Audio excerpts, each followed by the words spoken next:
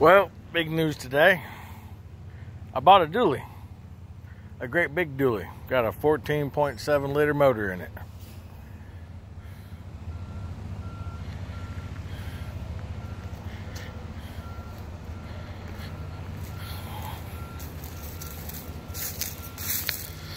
So what I done did is uh, pulled the trigger on a 2016 Freightliner Cascadia DD15 and it has a lazy boy in it or also known as a automatic.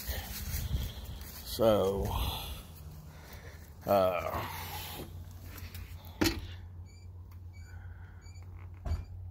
not exactly what I was wanting. I was wanting something with a hood and a big old yellow motor but for what it is it will work.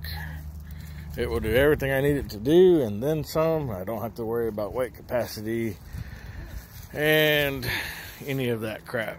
So, anyway, y'all be safe, y'all be good. More on this later.